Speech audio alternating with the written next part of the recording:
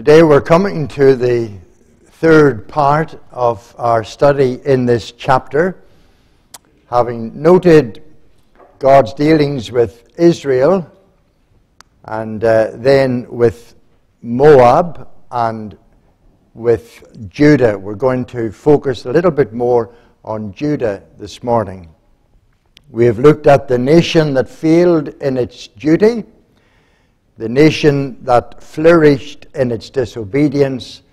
And today we will look finally at the nation that floundered in its discipline. And that, of course, was Judah.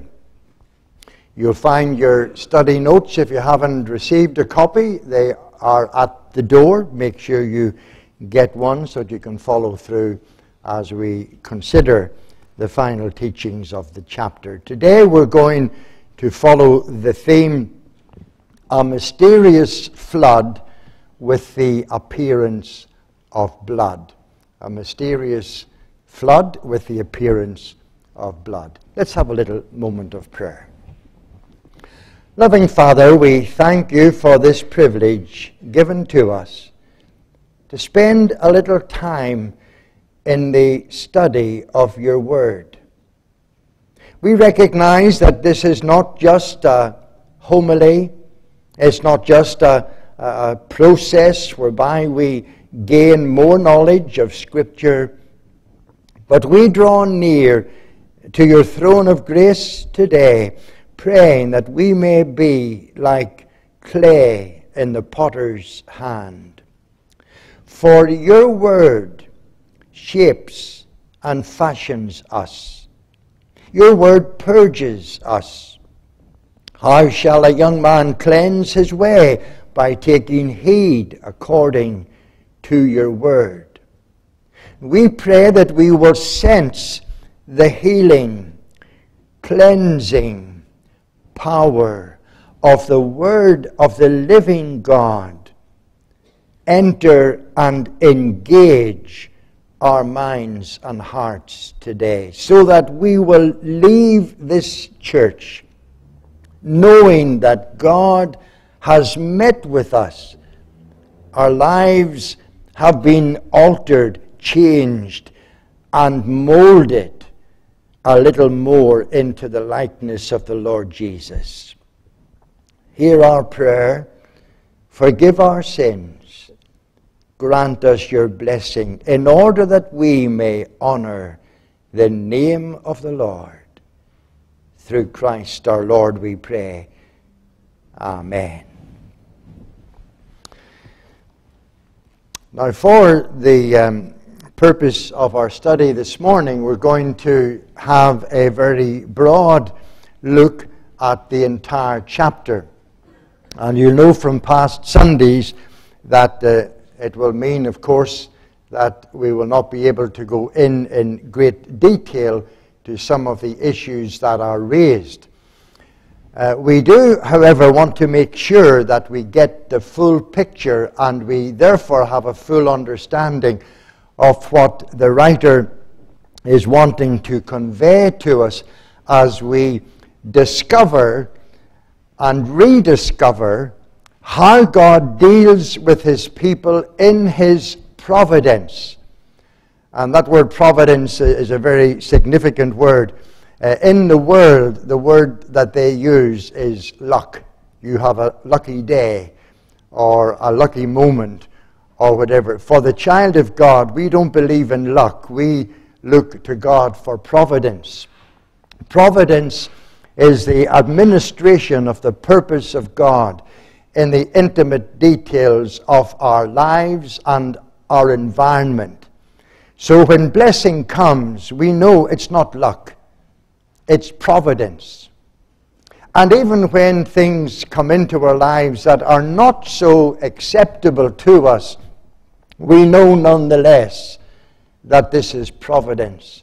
And some way, somehow, somewhere, God will reveal to us the reason for that particular moment in our lives. This morning, we want to focus on what becomes, in a sense, the final aspect of this miracle that has been building in its intensity and its excitement. And we're now about to see where it has all led us to. Our concentration will be on the king of Judah, Jehoshaphat. And uh, we're going to look at how, under his direction, the nation floundered in its discipline. And by that we mean that God had already revealed his will and purpose to them, but like so many of us, uh, he decided that there were times when he did not need to apply to God for permission to do the things he wanted or decided to do. And I'm sure that we will not escape not only the hints, but the strong proddings of the Spirit when we are reminded of those occasions in our own lives when we feel that we are entitled to make decisions without consulting the divine rule and seeking the divine economy. And that in turn leaves us at times a little bit stranded were it not for the intervention of the mercy and the patience and the long suffering of God, who, in spite of our disobedience, will still come to our rescue and to our aid. We want to study this uh, theme and thought this morning under three headings. I'll mention them to you now so that you will see the direction that we are taking. We see, first of all, the reality of a lesson not learned. Secondly, we note the futility of a loyalty not earned. And third, the tranquility of a liberty not yearned, that is, desired. So let's note, first of all, the reality of a lesson not learned. The Moabites are in revolt. We have discovered that in the first few verses of the chapter.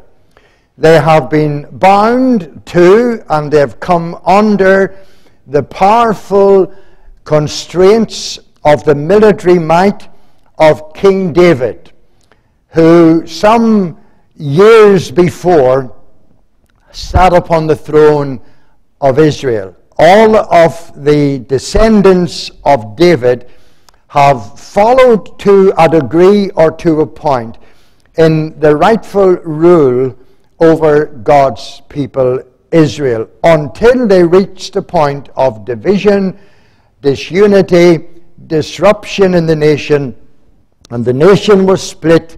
And now we have ten uh, tribes in the north, two in the south, and they no longer have an alliance in the sense of their continued rule. They are separate in every stretch of the imagination and use of the word. But one thing that they have shared in common is the results of the battles fought and the victories won by King David in particular, and then by his son Solomon, who followed in those early years.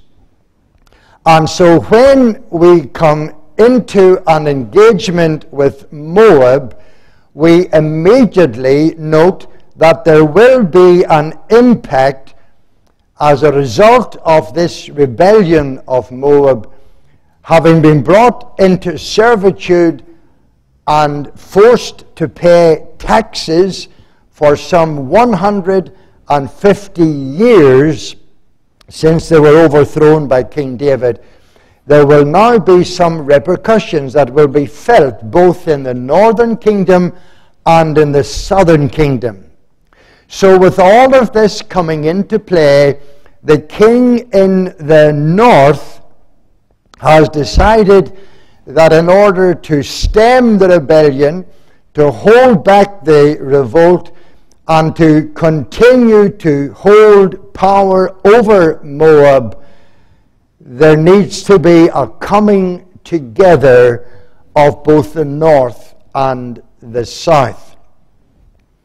So uh, Jehoram, uh, you'll read of him in the first verses of the chapter, verse 1, for example. He now prepares to make war, and you'll see that thought coming out in verse 6. So King Jehoram went out of Samaria at that time and mustered all of Israel. So we have Samaria, the capital of the north, a center for gathering all of the military might.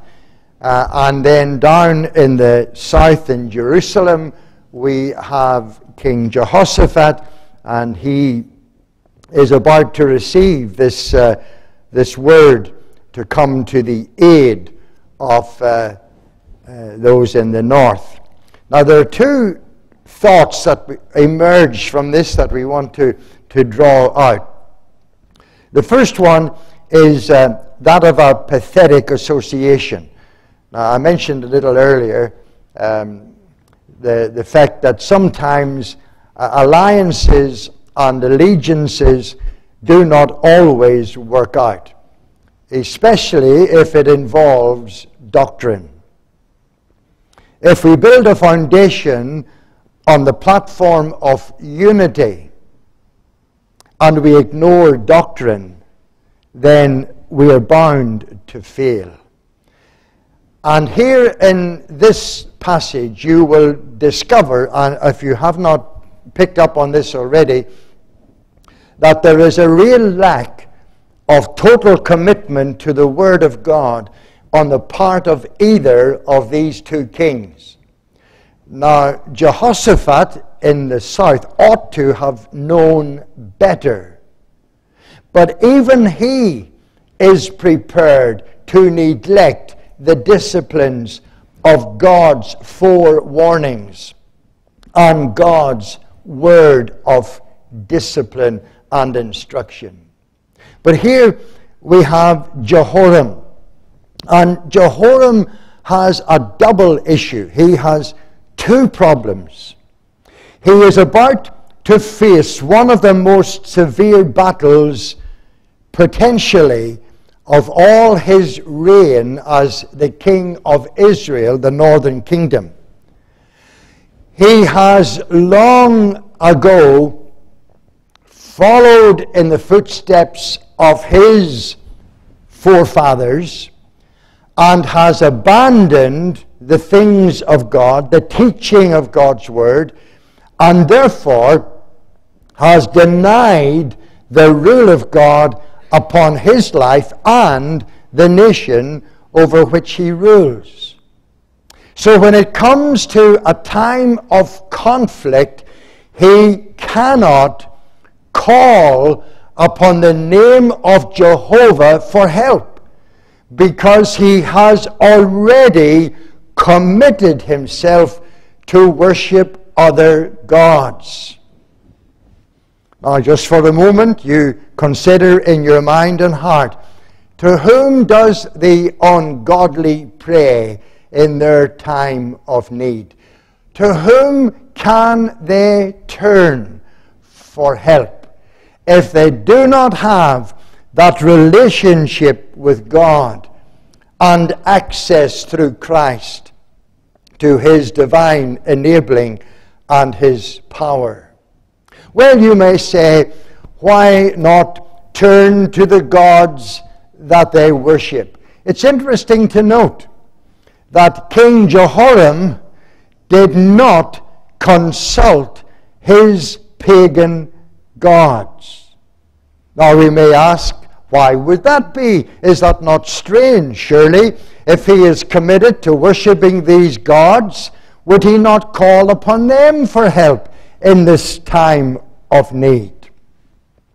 Just take a little think back a few years to the role of the prophet Elijah. Recall how he stood on Mount Carmel and mocked the gods of Baal. If Baal is God, serve him. But if God is God, if Jehovah is God, then serve him. And in that moment of bitter testing, it was de- determined and decided that there was only one God to be worshipped. All the other gods, pagan, heathen, were simply imaginary powers that had no influence, no effect upon those that worshipped them.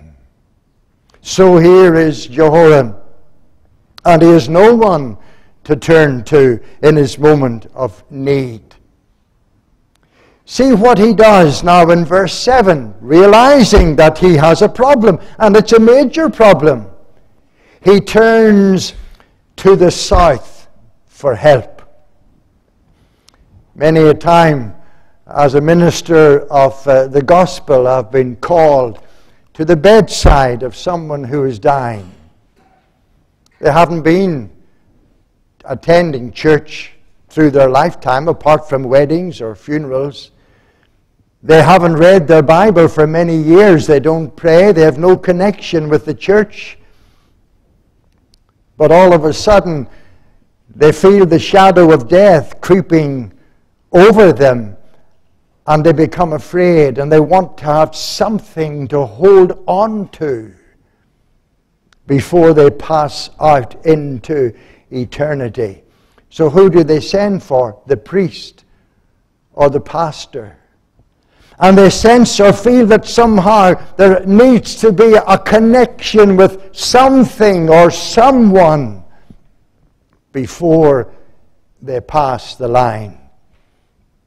Here, in a sense, while death is not imminent, it is potential, but it's not, it's not looming on the horizon as a definite objective. But here is Jehoram, and he knows that somehow, when he's faced with this dilemma, he needs to approach those who know more about the things of God than he does.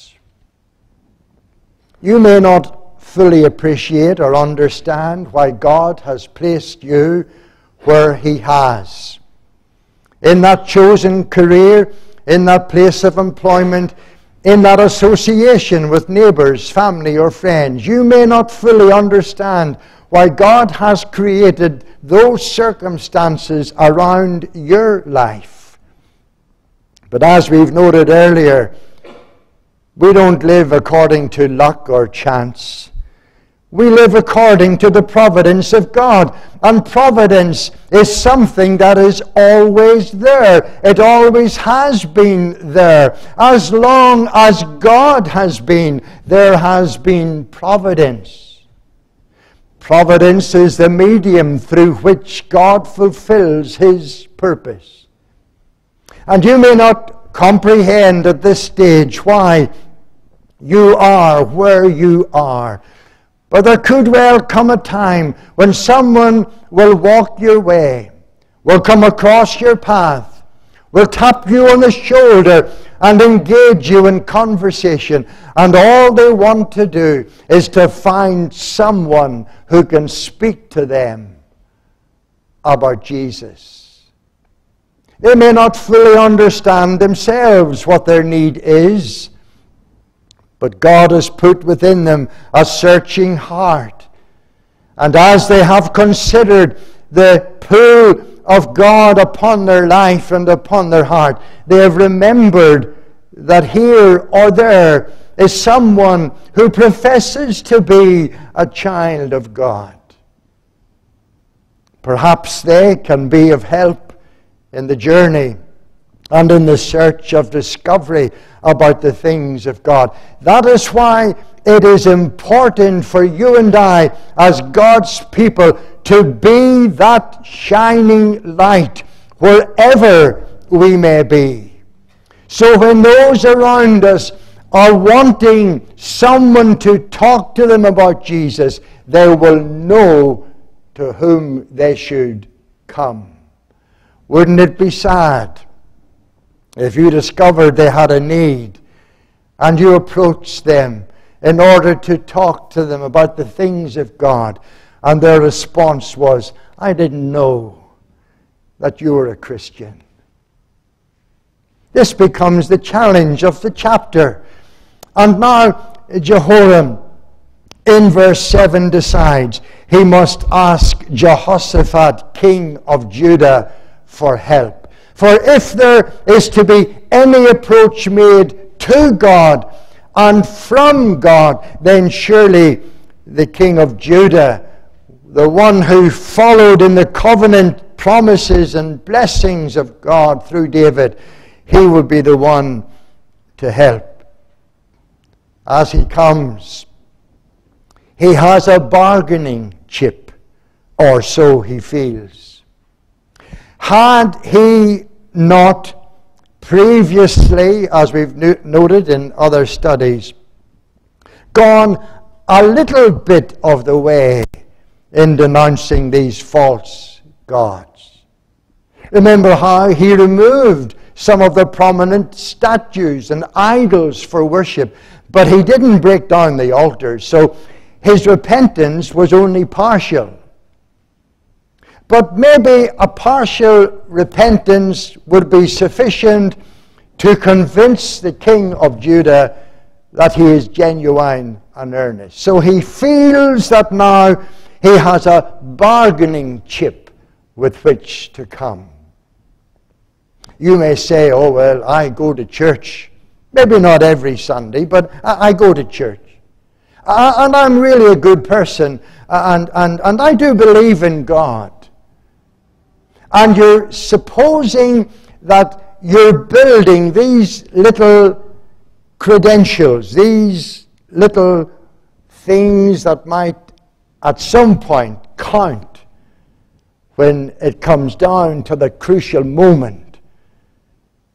But here we discover that the power of the king of Judah cannot encompass, cannot fulfill all that is required in order for God to actively engage in this situation.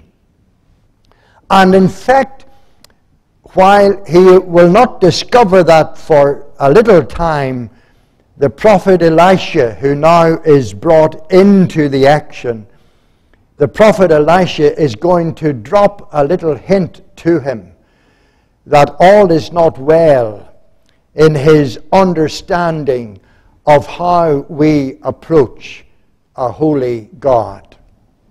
And you'll see that in verse 13 and 14. Uh, the prophet the prophet in verse 13 sets out uh, the, the question What have I to do with you? Go to the prophets of your father and the prophets of your mother but the king of Israel said to him, No, for the Lord has called these three kings together to deliver them into the hand of Moab. And Elisha said, As the Lord of hosts lives before whom I stand, surely were it not that I regard the presence of Jehoshaphat, king of Judah, I would not look at you nor see you. You see, your credentials are not worthy of the attention of God.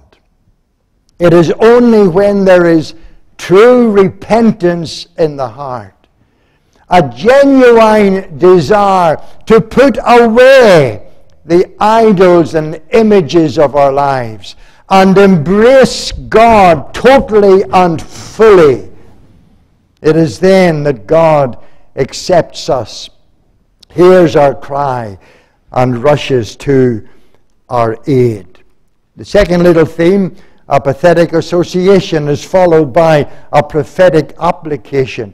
We won't go into this in depth uh, this morning, but remember in Matthew chapter 7 and verse 33, we have there the illustration, the account, the, the message that's driven home by Jesus as he describes the Pharisees who, who are saturated with their religious ideology and practice.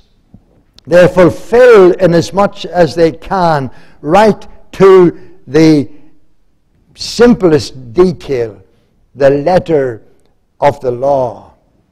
And Jesus confronts them with the words on that day when we're called to stand before God or when Christ returns. There will be many who will say in that day, Lord, Lord, open unto us. In your name we've done this and that and the other. We have been deeply concerned about our religious practice. We followed it right through as much as we could all of our lives. And what will be the response of heaven? Depart from me, me, I never knew you. Here we have the warning that our repentance must be in earnest and must be complete. But let's note, secondly, the futility of a loyalty not earned. There were no early signs or associations in all that leads up to this request and uh, the result of it from the king of Israel to the king of Judah that would at any stage or to any degree suggest that this is a relationship that will last or that it will even work or that it is indeed the right thing to do. Nothing that has gone previously would suggest to us that at this point in time, Israel and Judah can reunite for the one purpose of defeating their enemy and that they will succeed and life will settle back down to normal. No indications whatsoever.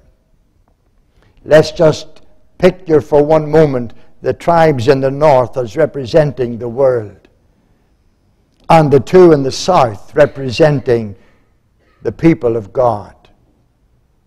Are there any suggestions around? Are there any evidences? Is there any proof that an alliance between the world and the church will work?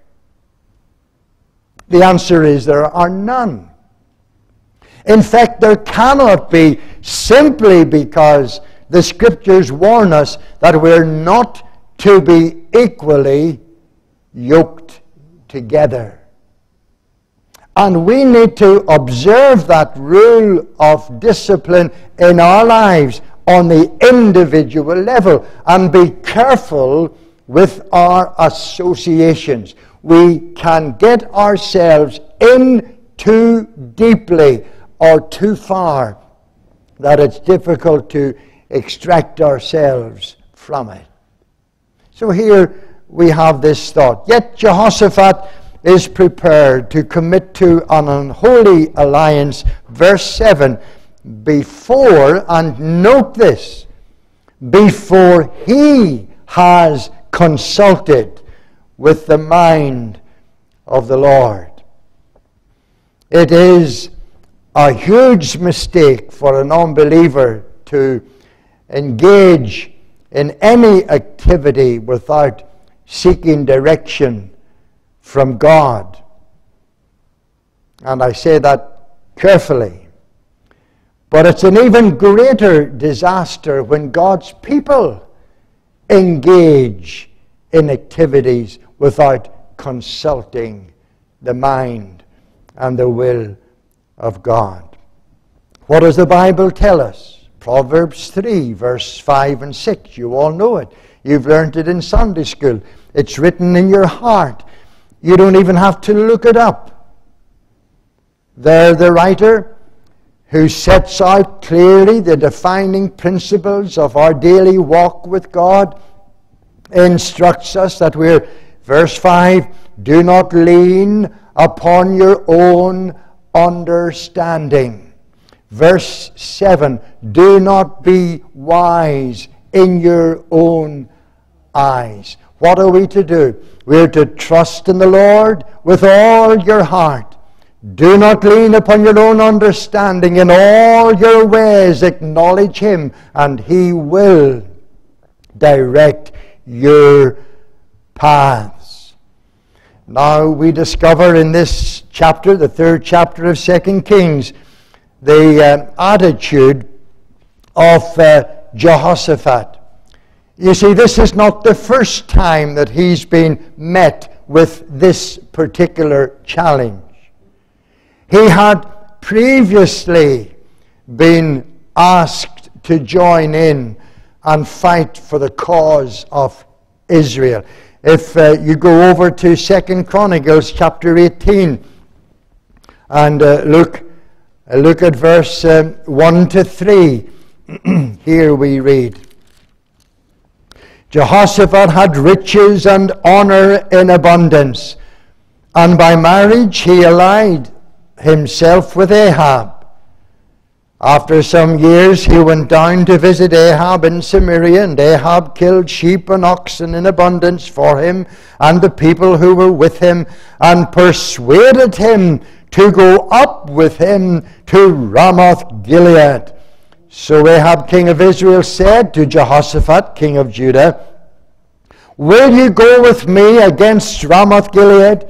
And he answered him, I am as you are, my people as your people, and we will be with you in the war. How can you fight with the world against the world? He already had been taught a lesson. Go over into chapter 19, look at the first three verses of that chapter. Then Jehoshaphat, the king of Judah, returned safely to his house in Jerusalem and Jehu, the son of Hanani, the seer, went out to meet him and said to King Jehoshaphat, Should you help the wicked and love those who hate the Lord? Therefore, the wrath of the Lord is upon you. Now, wouldn't you think that he would have learnt his lesson? But alas, here we are again, a repetition of the failure of that encounter. You see, Satan will work on us until he finds a vulnerable area in our lives. And once he has found that point of vulnerability, he will continue to attack it, to attack it, and to attack it. He will not give up working on it. But you see, as we read in Second Chronicles chapter 18, that Jehoshaphat had a vested interest, and therefore it persuaded him to become involved. He had married into the house of Ahab. So there is now a connection. He has, if you like, something in an invested interest in the north that will keep bringing him back, even though God has forbidden it. You see, that is how the devil gets us. He keeps in our mind and in our heart some connection with the old life or with the world. Something we enjoy doing. It might even have become a habit and we feel that somehow God will understand and He'll overlook it.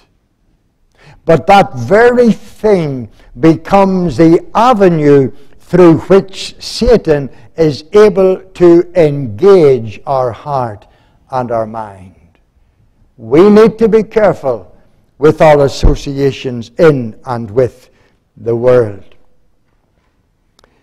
To be fair to Jehoshaphat, when they had set off for battle and found themselves in the middle of a desert with no water, he realized his mistake. You see, sometimes God has to bring us there. Psalmist tells us in Psalm 23, The Lord is my shepherd, I shall not want. Why? I know that He's my shepherd. I know I shall not want, because He leads me to green pastures. He leads me beside the still waters. You know, a sheep will not drink from a running stream.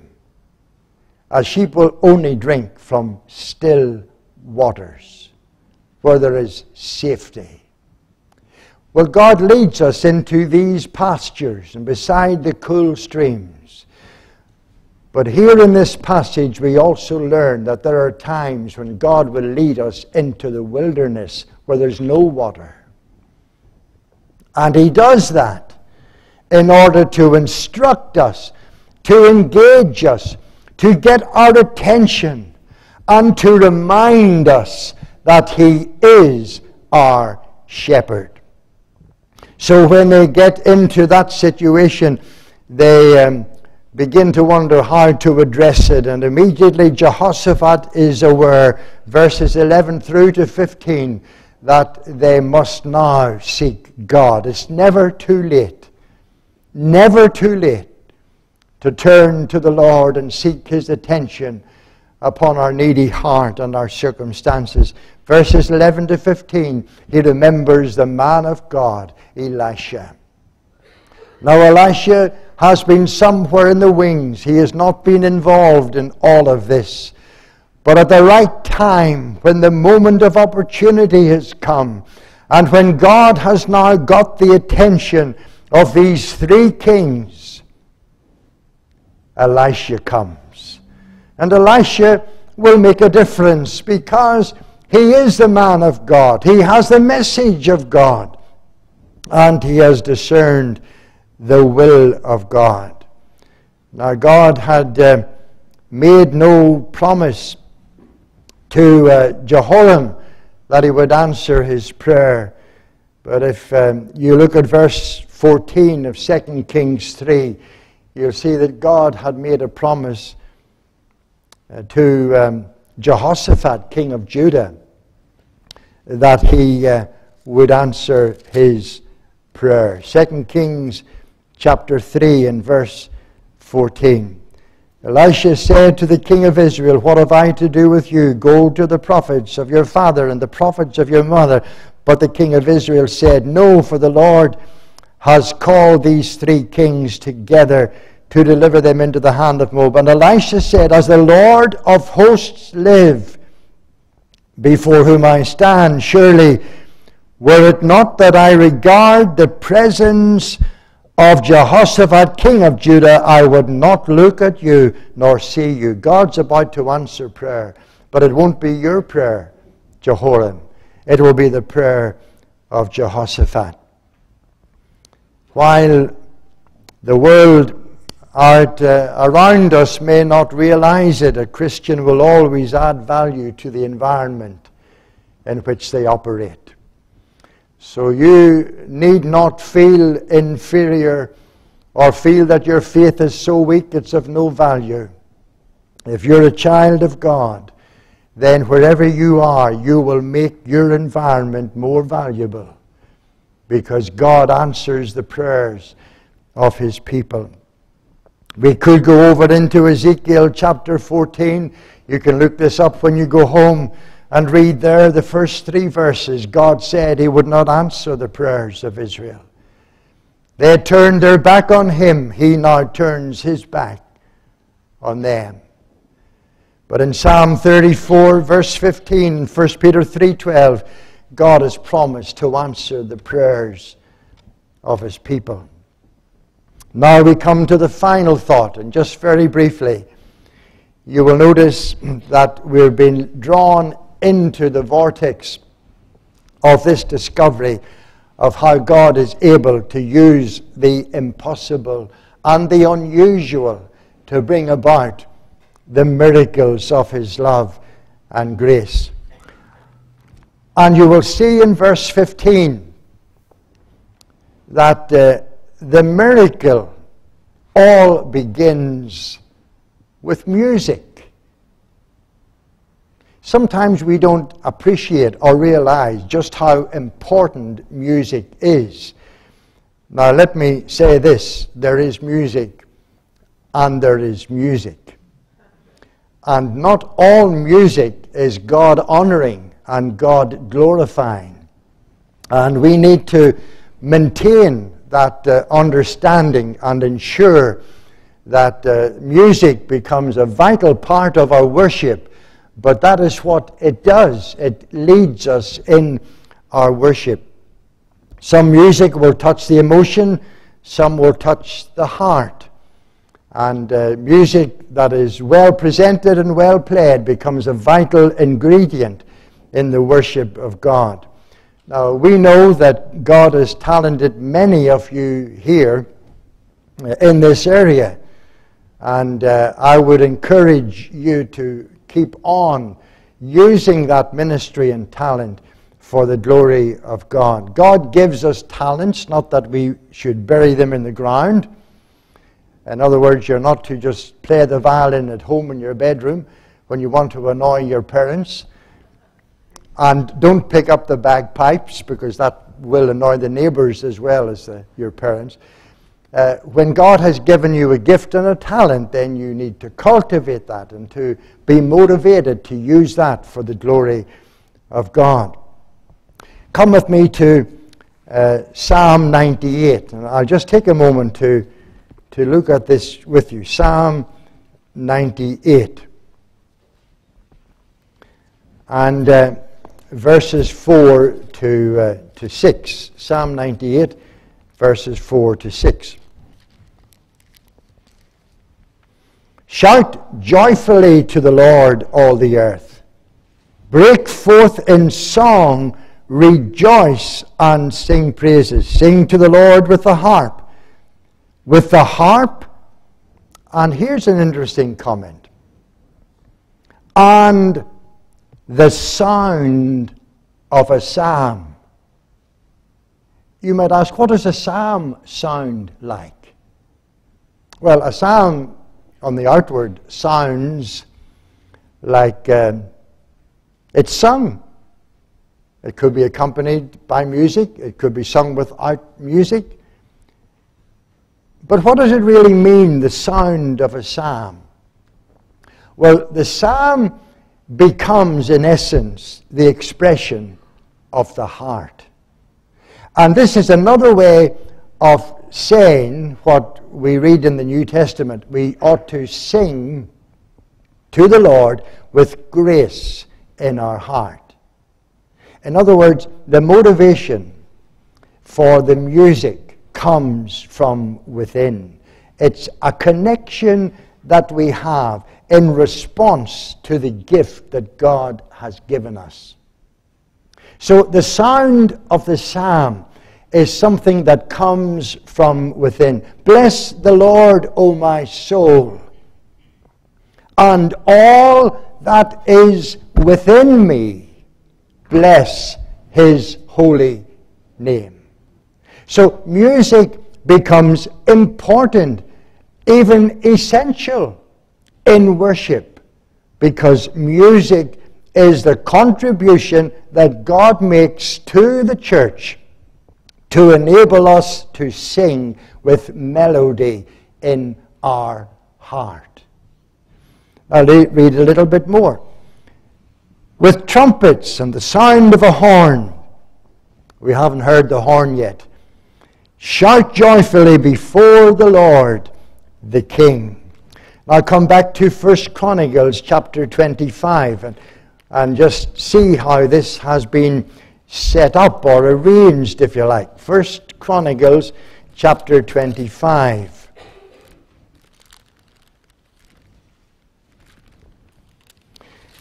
Verse 1. Moreover, David and the captains of the army separated for the service some of the sons of Asaph of Heman, of Jeduthun, who should prophesy with harps.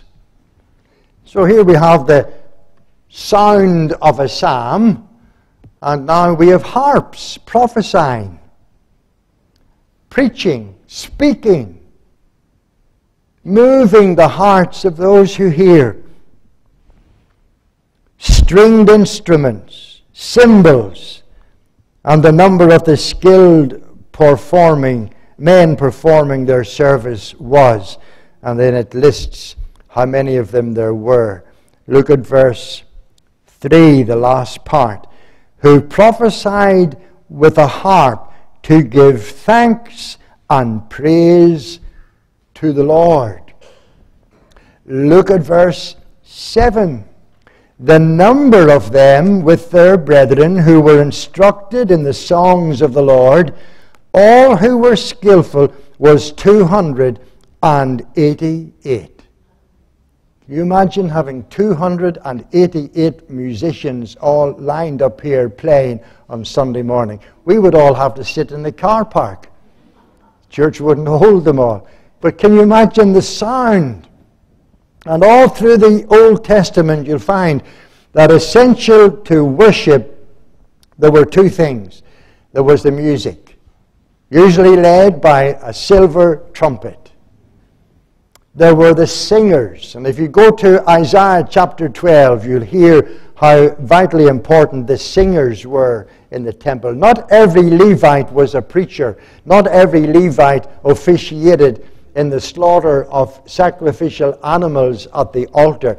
There were Levites who were specially called and gifted to be musicians in the temple. In verse 8, you'll see they cast lots for their duty, the small as well as the great, the teacher with the student.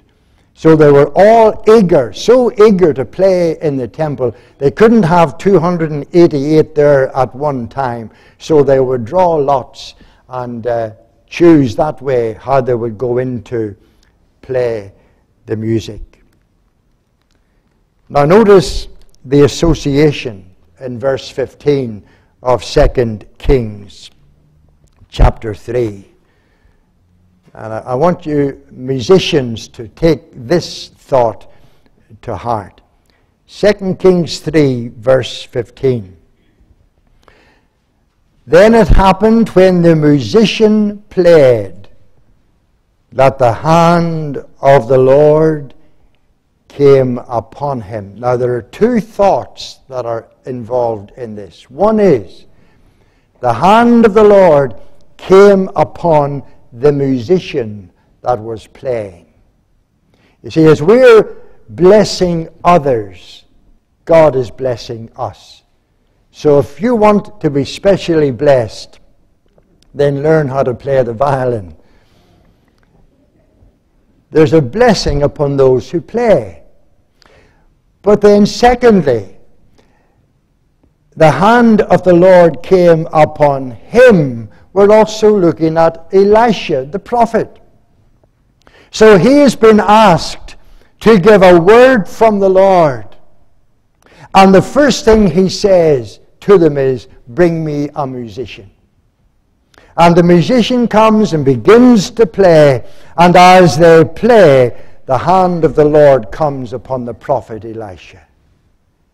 So it's not only aiding or helping the music and the singing, but the musicians also have an application to the preaching of the word. It settles the heart and the mind, and appropriately played leads us into our worship and the meditation of God's word. That's why, as we need to guard the pulpit, we need to guard the band or the musicians who are playing on Sunday morning. This is a vital uh, aspect of our worship.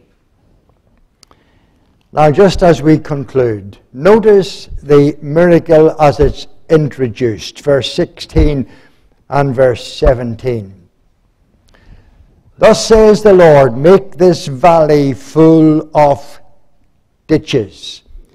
For thus says the Lord, you shall not see wind, nor shall you see rain. Yet that valley shall be filled with water, so that you, your cattle, and your animals may drink. Now, note the connection here. Remember when Elisha was, when Elijah was questioning the presence of God when he was in the cave. And God told him, Come out, stand at the door of the cave, and I'm going to pass you by. Remember what happened? There was thundering and lightning and earthquakes and all of these things. And uh, one would have to be really blind to the workings of God not to notice that God was doing something. But here, God is doing nothing. No sound of rain, no sound of a rushing flood. Suddenly, it, it, it appears it has happened quietly and insignificantly, but it becomes just as powerful as the appearance of God on the mountain with Elijah. You see, God doesn't always herald his coming with force and authority and power. Even to the prophet Elijah, it was the still small voice that awakened him to the presence of God. So just because you pray and nothing happens, and you pray and still nothing happens or appears to be happening, do not be disappointed. Simply wait and keep on praying. For sooner or later, in the timing of God's purpose, He will bring to pass the miracle that will change your life and the life of those around you. Remember Noah. 120 years it took him to build an ark. There were no other signs of God doing anything. But the insistence of the building day after day after day in the middle of the desert, building a boat in the middle of the desert that no one could even think of moving. And yet God was at work. Here, Judah are told, send out the men.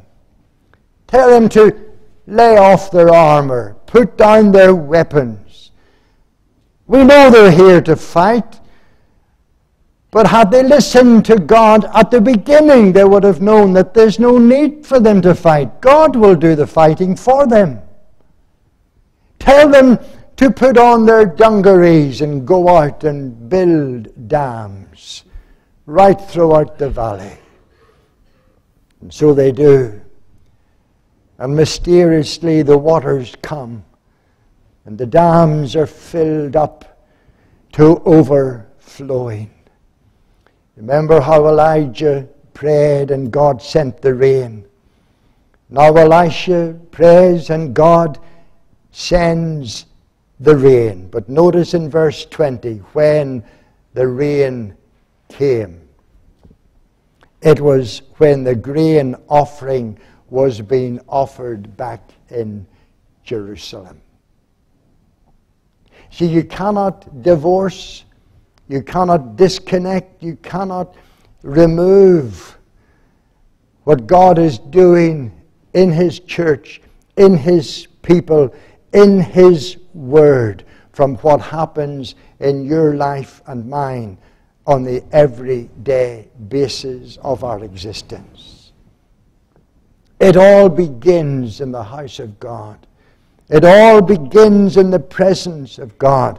And when God's people are praying in Jerusalem, God is at work in the wilderness of Moab. Here then is the practical application of the miracle. Just read down through the final verses of the chapter.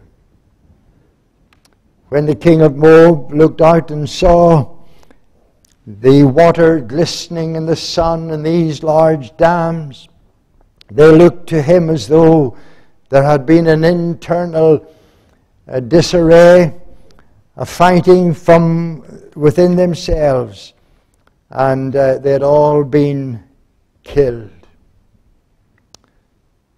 Blood immediately came to mind, and they thought it was the blood of their enemy, Israel, Judah, and more. But not long from this realization, the earth will see the blood of the Moabites as God performs a miracle of deliverance for his people. How does this all end? What does it teach us? What is the lesson of this chapter? Well, there are many, as we have noted, but here is the main lesson.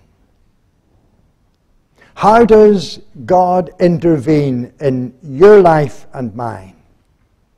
How does He rescue us from the enemy of our soul? It is only by the precious blood of Jesus. And here in this passage is a foreshadowing, a foretelling of the great deliverance through the cross. Have you proved it? Have you trusted Christ as your Savior? There can be no other way. Let's bow for prayer.